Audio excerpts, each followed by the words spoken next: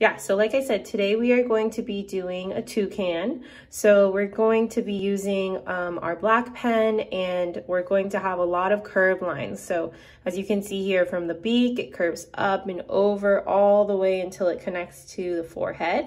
Then we're gonna curve all the way down. Um, again, curving towards the um, face and then we're gonna curve over to the side. And then there's a few areas where we can do some big um, blocks and big shapes so that we can color those in later on. And this is called a cropped image, which means that it is kind of a zoomed in image. So we don't see the rest of the body here, but the nice thing about this is it allows us to see the um, close-up detail in the beak and all of the colors and even some texture with um, the feathers right here. Okay, so I'm going to start out by touching my paper and I'm going to decide how big I'm gonna do my toucan. Oh, and then if you want, you can actually, might be good to do it landscape orientation, so long. So I want you to go ahead and leave a little bit of space on the left side. So I'm gonna use my fingers to measure and I'm going to leave three fingers width on the left. And then I want you to put a little planning dot. And then I'm going to go to the right side. I'm gonna use my three fingers, place it down on the right side of the paper, and then I'm going to do another planning dot right there. So this way we have a border and it'll allow us some space to do some stuff in the background later on. Okay, so the next thing I want you to do, I want you to just touch with your finger and practice the line that you're gonna do. So you're gonna be doing a curve line, curving up and over until you get to about the um, one third from the right. Okay, so you're just gonna practice with your finger first and then you can go ahead and when you feel confident, you can do that line. So um, I'm going to put a planning dot up here and then I'm going to do my curve line, curving over towards the left until it touches the planting dot on the left side. So this is gonna be the top of the beak.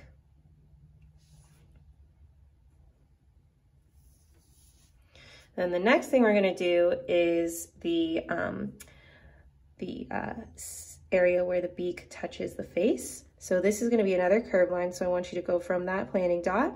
I want you to curve down. It's gonna go a little bit towards the right and then in. So you have this wavy line here.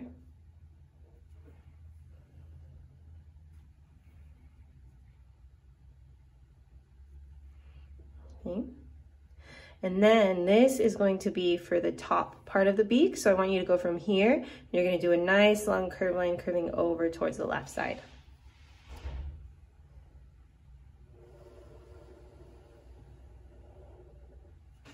There we go. So pretty simple drawing. Today is gonna be more about like looking at color, um, looking at how we can mix the colors together. So once you're done with that, I want you to do a slightly diagonal straight line. So this line is gonna go from the point right here, it's gonna go diagonally towards the left, okay? And if you want, you can practice and put a little planning dot, and then you can go ahead and do your line. So diagonal straight line. And then we're just gonna bring that line, you're gonna curve over towards the left. It's gonna come up a little bit just to make that hook, and then it's gonna connect at the end.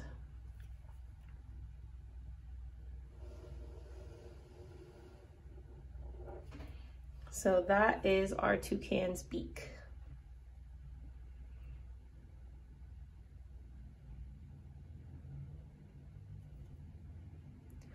Okay, so um, the next thing I want us to do is the um, forehead. So I want you to go to the top point here and we are going to do a curved line that is curving a little bit up and then over towards the right to where we put that planning dot. So that's gonna be the curve of the head.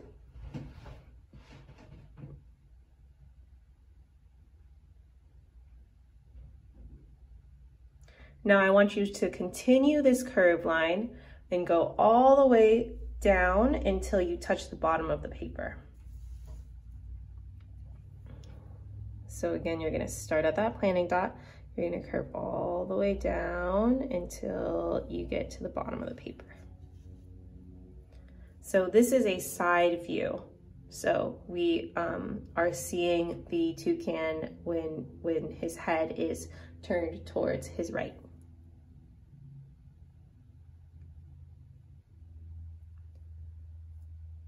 How are you guys doing over there? Keiko, how are you doing? Let me see, what do you have?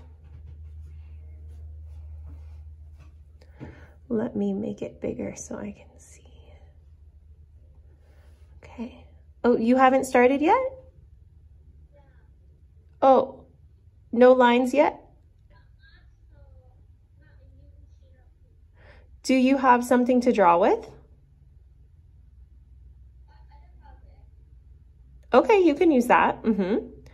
Okay, so I want you to look at the lines that I have here. I know you can get caught up. I don't want you to get lost, okay? So I want you to do your curve line for the beak. Okay, and take it step by step, okay? Here, I will show you the video now here. There you go. Can you see that? Nice, Shogo. Yeah, looks good so far. So, Keiko, I want you to just get caught up and there's only a few lines here, so I know you can do it. Okay, so the next step is we are going to go from here, this little area where it kind of like hooks, and you're gonna do a curve line. It's curving over towards the right.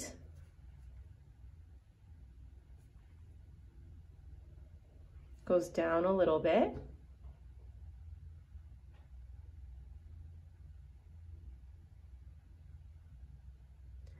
And then we are going to um, do a curve line from here, curving over to the right side. It looks like almost like he's wearing a shirt. Yeah, let me show you the picture again. See, so we have this um, white area underneath the beak, and then it's we're doing this curve line curving over to the side. Okay. So from here, curving all the way over to the right side.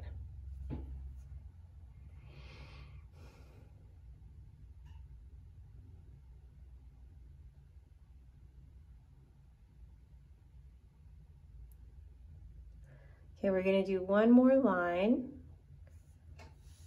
and then I am going to have you guys start to choose your colors. So you're gonna go from here, you wanna go a little bit above that last line, then you're gonna do a curve line curving over towards the left until you go and touch the bottom of the paper.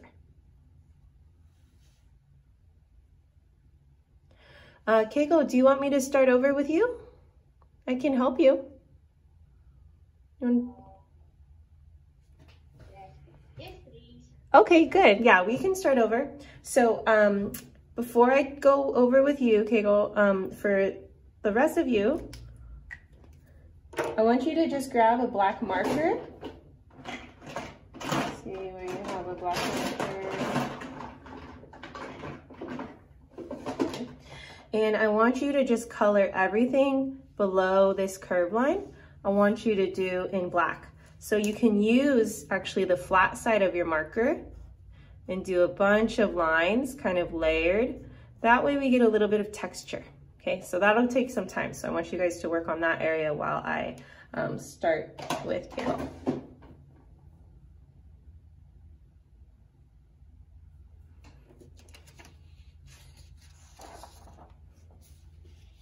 Okay, Keigo, ready? Yeah? Okay, cool. So first thing I want you to do, I want you to start kind of near the right side of the paper. Let me scoot this over, okay. And I want you to do a curve line curving over to the left. So big curve line. This is for the top of the beak.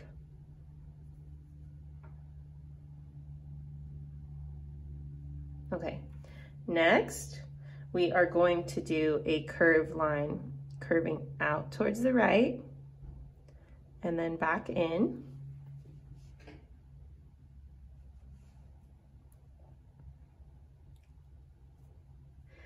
And then, you good? Give me a thumbs up if you're ready. All right, okay, cool. And then you're gonna go from here, you're gonna do a long curved line until you touch the side of the beak. Curve all the way over to the left. So that's the top of the toucan's beak, okay? Now, from here, I want you to put your mar marker right here, and I want you to do a short diagonal straight line. So it's kind of pointing down towards your left.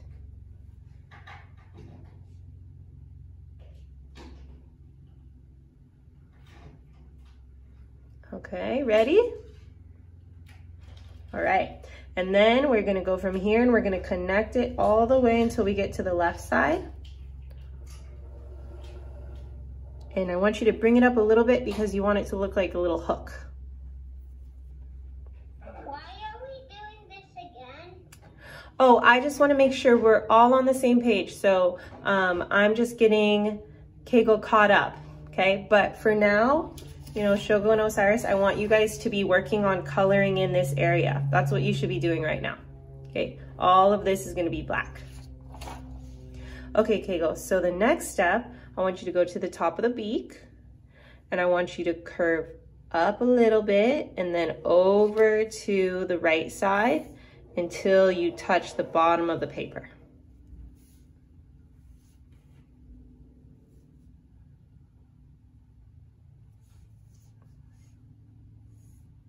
Okay, now I want you to go back to the toucan's beak right here.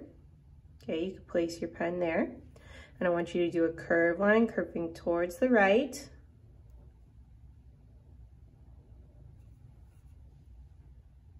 okay?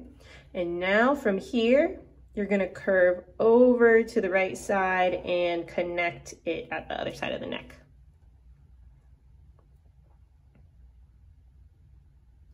Okay, there's one more line we need.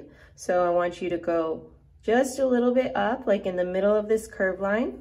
And I want you to do another curve line curving down and over until you touch the bottom of the paper. Okay, let me see what you have.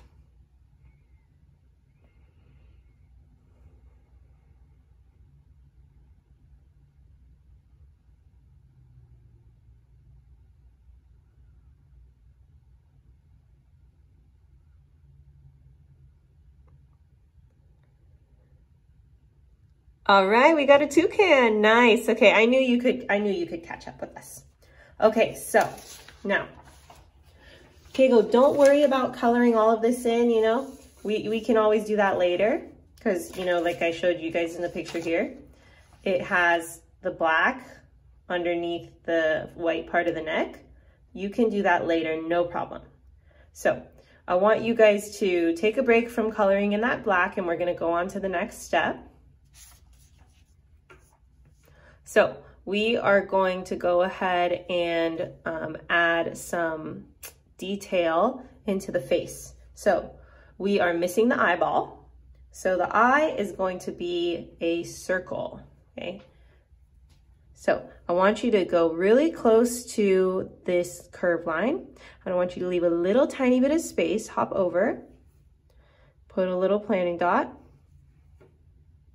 Looks like a tiny little beady eye, okay? But now we're gonna make it much bigger. So I want you to do a curve line curving all the way around until it makes a circle shape.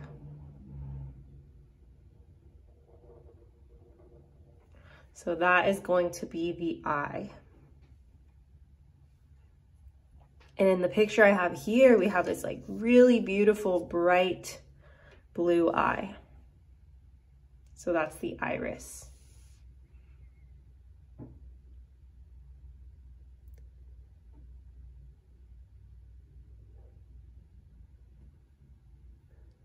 All right, did everyone get the circle? You can give me a thumbs up. Okay, cool. Osiris, did you get your circle for the eye?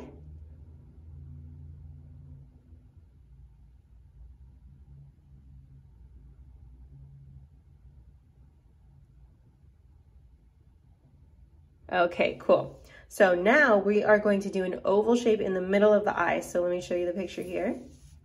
So the um, pupil, which is the black part of the eye, it's circular, it's round, but it's a little bit smushed. It's like a smushed circle. So we're gonna do that. So just go ahead and do, leave a little bit of space um, in between the first circle and this next one, and you're going to do an oval shape in the middle of the eye.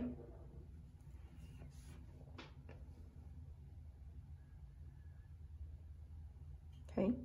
Um, the next area we are going to do is on the top of the head. See, we have this black, it looks like he's wearing like a little black wig, right?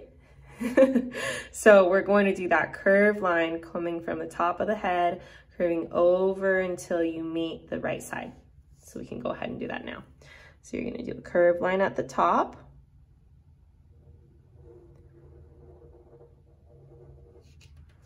And then you go all the way until you touch the line on the right. So basically we're just creating these really simple shapes so that later on we know where we are going to start coloring them in.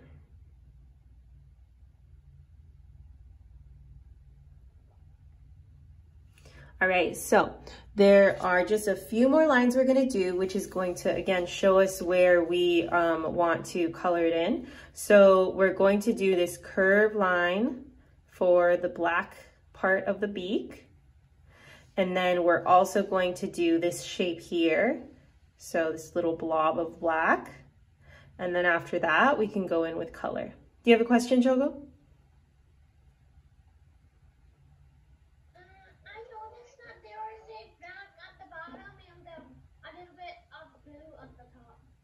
Yeah, that's true. Yeah. So in the eyeball, you mean?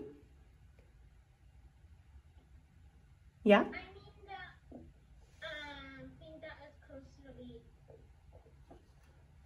This this area? No. This one? Uh, and one more. This? Yeah. This area. Oh yeah, so that's true. So it does look like it's a little bit like um bluish black up here. So good observation. So what we can do is we can mix that color together. We can layer the ink together. So I'm happy that you guys are starting to notice those little um, little changes in color because that's that's what's really amazing for artists. They can um, look at something and see a lot of the detail. Okay, so I'm gonna go back to the drawing here. Now, we are gonna start out with this black area for the beak. So I want you to go to the top I want you to leave a little bit of space, kind of hop over to the left, and then I want you to do this curved line curving down.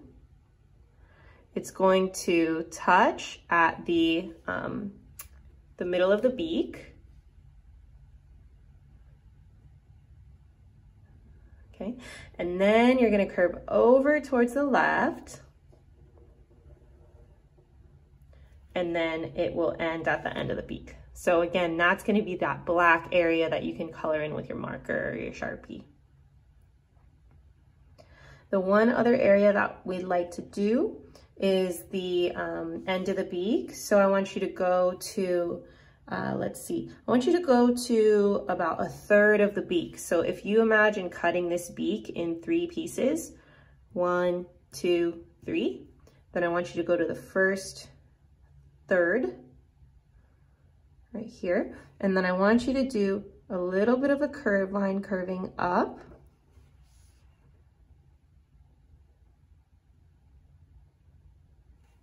You're going to do a squiggly line, kind of wavy line going up kind of towards the top of the beak.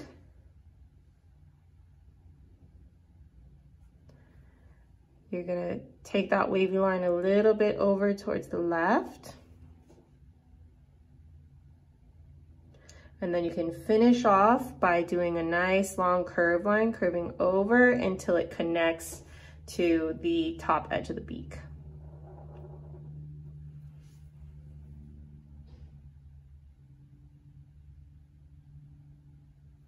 All right, so that is it for our drawing. So now what I want us to do is, um, it's called color blocking.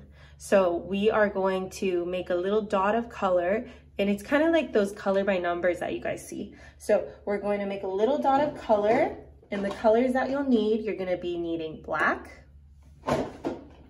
uh, orange, a bright yellow,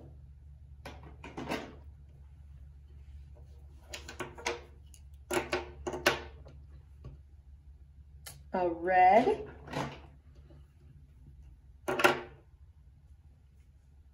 and a blue.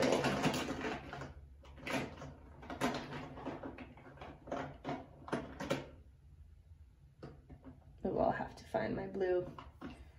I'll go grab it. Here, I'll use this for now. The deep blue, right? So what we're gonna do is we're going to just do a little dot of each color wherever we um, wanna add that color and kind of block out the colors. So this is one way to approach um, the colored portion. Usually we just go, you know, look at the picture and then add color um, as we go, but this way is kind of, it allows you to plan where you're going and that way you know, okay, this is gonna be orange, this is gonna be yellow, this is gonna be black. So we'll just do little dots of color and then it'll be like a key. So let's start with black. So the black is going to be this area here. So I'm just gonna do a little line of black. It's also going to be kind of like from here, from the, from the middle of this area, going down and then into here. We're also going to add black. I want you to do a line going through the middle of the eye, and then the black is gonna be below there.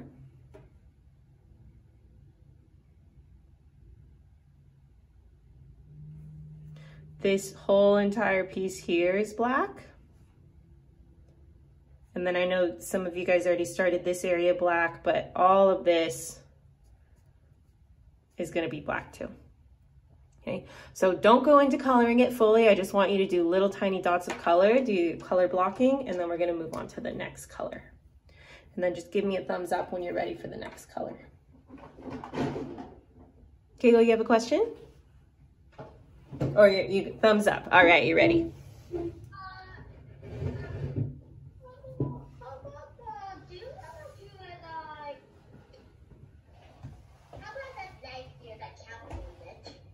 Do a what?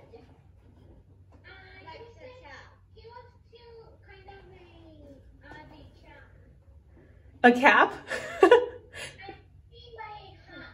oh, you want to do a hat on your toucan? That'd be so funny. I think that'd be hilarious. Yeah, you can definitely do that. You can add whatever you want to your guy. You know, this is just kind of the uh, original one, but you can make it a funny little character if you want. Okay, so I'm gonna move on to the next color.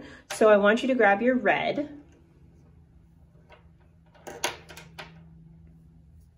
Okay, and so for the red, we're gonna block off the area of the beak. So let me show the picture again. So we have this beak here, and we're gonna do a nice long curve line with red at the very top of the beak. So go ahead and use your red marker and go to the top of the beak.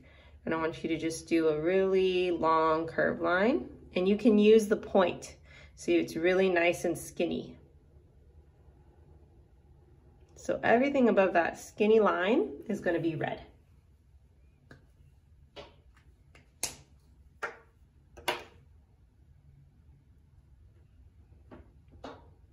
Okay, and then the next color I want us to do is orange.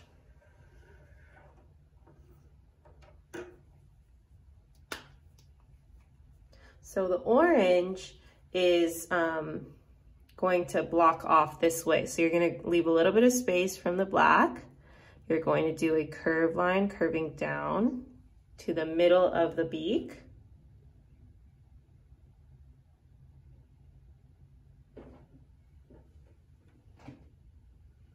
Okay, and then you're gonna do another curve line curving over until it touches the squiggly line. And then basically everything under this area is gonna be orange.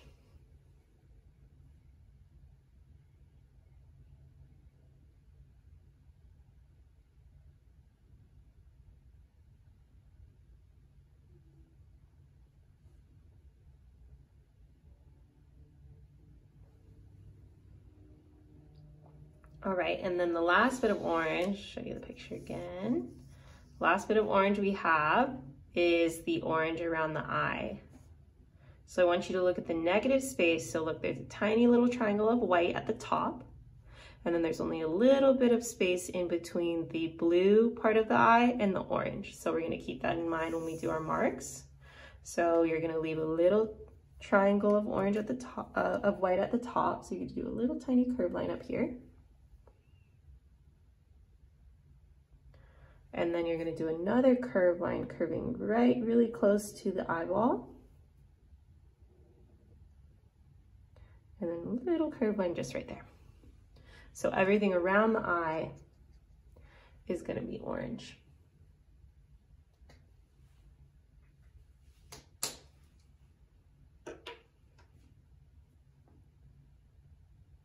All right, and then the very last part is the blue. And the blue is basically just this kind of donut shape around the eyeball. So if you want, you can make a little mark. You know, this is all gonna be blue around the eye. And then, so now that we have um, blocked out our color, it's called color blocking, we can go ahead and start to fill in those areas. So just like I said, it's kind of like having a coloring book and it has the uh, paint by numbers and you have to match the colors with the numbers. So we've um, created the key of what colors go where and now you can just add color to it. So I'm going to switch over. I'm going to just show you the picture here so you can take a look at all of the beautiful color mixtures. And then we have about um, 15 minutes. So that's plenty of time to use your um, markers to color it in. And just a reminder, so for, you know, when you're using the markers, you can get different lines. So, you know, if I want to cover a big area, I want to use the flat side. So you're going to press down of do a big area of color that way. And if I wanna do small lines, like for example, like for the black part where the black meets the white and I wanna do a little texture with the feather, you can use the point. So I'm pointing it and I'm getting all these tiny little lines so that it really looks like the texture of the feathers.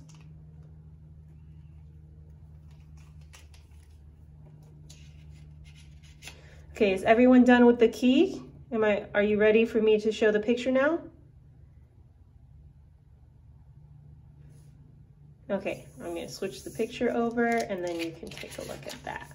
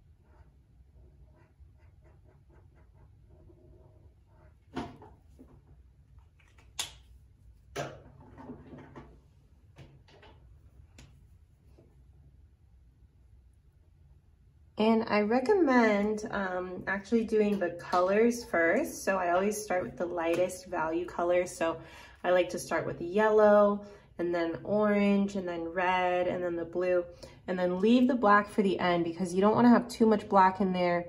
It might mix together with your other marker color and then it'll start to change the marker and it'll be a little bit darker.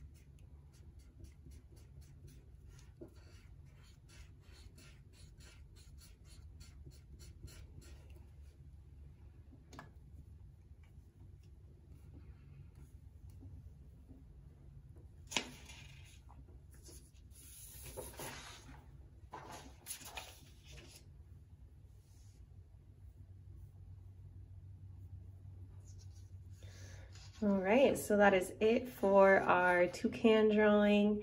As always, you can add, you know, whatever you want in the background, um, make it come to life, or you can just leave it as a simple um, drawing like this. But um, don't forget to sign your name. It's always good as artists to, you know, make a habit of that. So usually artists sign in the bottom right-hand corner. You can put your name there and then the date or the year if you want. And then um, you have your sweet little toucan drawing.